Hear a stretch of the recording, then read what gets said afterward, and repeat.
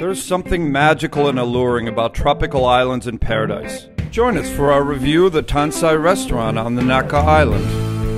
We're headed out of uh, Ao Po Marina and we're going out into the bay here. And um, everywhere there are beaches all over the world, but this uh, this bay here has got some of the most amazing scenery that you'll see anywhere. This is simply stunning. So come on along. So we're here on Naka Island now. We're here with uh, with Chef Ian, and uh, we, thanks for welcoming us to your resort.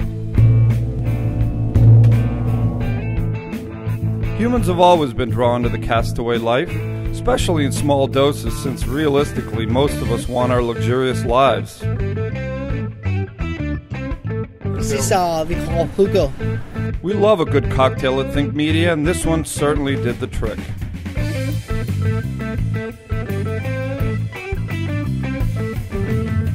Many times we have st- all this stuff and it's way too sweet, and you just, you do a taste test and you're like, okay, I can have half of it. This is actually refreshing, not too sweet. Some of us were here for the food, and some just to have a look around.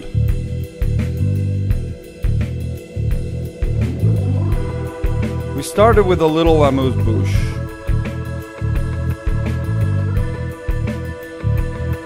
So this is a local white snapper, uh, oriental tuna tartare, and a smoked salmon tartare. Wow, three different um, textures. You can tell the, the salmon's in the middle, and this one's very red, and then we've got some snapper. I think I'm going to love this. The tartar combination plate was tremendous, upbeat, and had a simplicity that really had us going. This was great. The signature salads from the, my group. Uh, it's a calamari salad with uh, spicy dressing. The salad was also perfect for enjoying on a faraway island. Tasty, simple, and healthy, plus delicious. A quick uh, pop into your kitchen. The kitchen is simple, a lot of open flame cooking of fresh seafood. What could be better than that?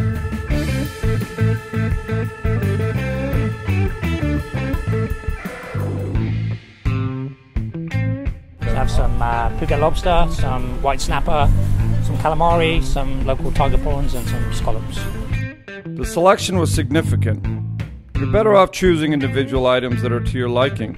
We would recommend first and foremost the white snapper, as well as the scallop and grilled calamari. They come with a couple of Thai sauces that help remind you of where you are. We worked our way through the selection of seafood while enjoying the ambience and the views. We shared a nice rosé while we ate.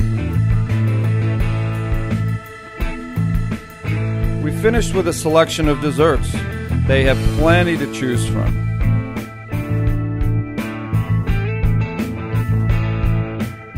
Uh, move over to the bar area and have a drink over there. Kicking back and relaxing was what the Naka Resort is all about. We weren't about to miss that.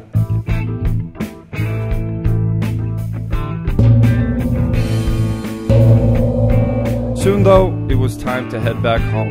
Back to uh, reality, and we're happy to recommend the Naka to all of our viewers and our readers as well. Go to our website, Think Media HQ, to see more. And please, eat and drink well.